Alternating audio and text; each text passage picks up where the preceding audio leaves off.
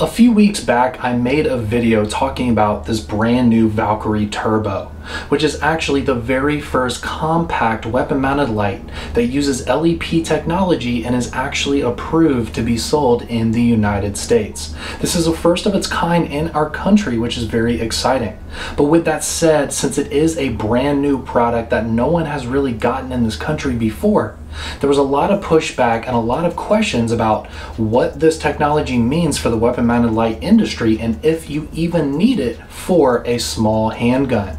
So in this video, I'm going to talk about some of those concerns about the Valkyrie Turbo, how it actually makes sense to have on your pistol, and how it can really help you out in a self-defense situation. Now since this is such a new product for us and we want to get it in as many hands as possible, I do want to give one away in this video to a lucky winner in the comments section. Now in order to enter to win, all you gotta do is make sure you're subscribed to this channel, like this video, give it a thumbs up to show your support, and leave one comment in the comment section on what you think about the LEP technology in the weapon mounted light industry. I'm really interested to hear your thoughts and what you think about the capabilities of LEPs in this industry. Now with that said, let's go ahead and talk about some of the key features of the Valkyrie Turbo and how it really is awesome. Now I'm not a firearms instructor myself, but I have been in this industry for the past seven and a half years, and I've had the opportunity to talk to a lot of instructors who have decades of experience, even in low light training. And one of the things that they always say is that you want to get a flashlight on your firearm that has the highest intensity possible. Good thing about that is you're going to distract and also disorient a potential attacker, which is obviously what you want with a high powered weapon mounted light. Now, this has a candela of over 70,000 coming out of a light that's only 3.55 inches long.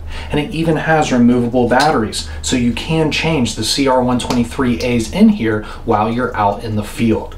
Now when we first announced the Valkyrie Turbo has a beam distance of 530 meters, a lot of people thought that was crazy for it being on a small handgun. Are you going to shoot 530 meters away with a handgun? Probably not. But do you want that increased intensity at closer distances? Absolutely. Do you want to have the highest intensity beam you possibly can get at 20 meters, 30 meters, 50 meters? Absolutely. So even though it has a capability that is extreme, it actually makes the light that much better at closer distances, especially in a self-defense scenario. We're now taking a look at the Valkyrie Turbo. As you can see, that center hotspot has just incredible intensity to it. The candela on this thing is truly remarkable. I mean, I can't believe that a beam can have that much intensity out of a flashlight that's only three and a half inches and you can put it on a firearm. So now we're taking a look at the PL Pro and you can see that it's a lot harder to see that beam intensity. It kind of just looks like the areas where I'm shining it are a little bit lighter, but you're not getting that super intense hotspot like you're getting with the Valkyrie Turbo. I'm liking the performance on this Baldr Pro R, but keep in mind that center hotspot has nowhere near the intensity of the Valkyrie Turbo. The Turbo is just going to blow it out of the water in terms of beam distance, but again, it doesn't have that spill. So that's the only thing you really need to keep in mind. But if you get a Valkyrie Turbo, I can guarantee you, you are going to love the intensity and the beam distance of this thing because it really is remarkable. Again, coming out of a light that's only three and a half inches long. Amazing. Now beyond this being one of the highest intensity lights that you can put on your handgun, one of the coolest things about LEP technology is it does not get anywhere near as hot as a standard LED. Now if this was a regular flashlight, me putting it on my hand, especially with this intensity, it would probably start burning my hand, right? Well, guess what? I can barely feel it. And when I touch the head of the light right here, it's barely starting to get warm. It doesn't stay completely cool, but it barely gets warm. And again, if this was a traditional flashlight with this much intensity, it would be extraordinarily hot to the point where I probably would barely even be able to touch it right now. A good thing about that too is it's going to have better longevity over time because the internal components of the light itself do not get as hot.